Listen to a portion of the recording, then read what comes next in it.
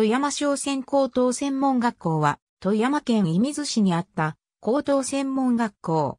全国に5つある商船高等専門学校のうち唯一日本海側にあり、100年の歴史の中で数多くの国際航路の船長、機関長を輩出した。85年までは全寮制で女性は入学できなかった。かつては外国に行けるのが船乗りしかなかったので、超エリート校であった。石油ショックまでは県内屈指の偏差値だった。そのため、県内からの入学者は少なく、ほとんどが県外出身であり、それぞれの県人会を作っていた。1985年に情報工学科ができて、全寮制の廃止、女子学生の受け入れが始まり、88年に電子制御工学科ができ、93年に高専初の文科系学科も設置され、総合高専と呼ばれていた。日本一女子学生の多い高等専門学校でもあった。2009年10月に富山工業高等専門学校と統合し、富山高等専門学校となった。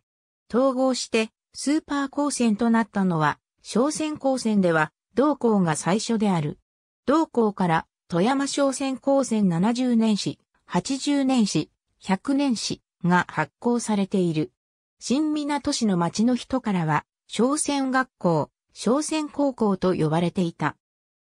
元は、新港の町の中で、内川の東側の名古中学校の場所にあり、今の詰めりの士官候補生の制服が女性たちの憧れの的だったこともあったからだ。ワシントンアコード加盟の日本技術者、教育認定機構から国際的水準にある高等教育機関であると認定されている。課外活動では、ラグビー、テニス、陸上、新聞部が強かった。2002年には、ファイアウォールというロボットが全国高専ロボコンで最高の名誉であるロボコン大賞を受賞し、このマシンはロボコンでヒロインの長沢正美たちのチームと決勝で対決している。富山高専射水キャンパスとしては2013年にサルームが2度目のロボコン大賞を取った。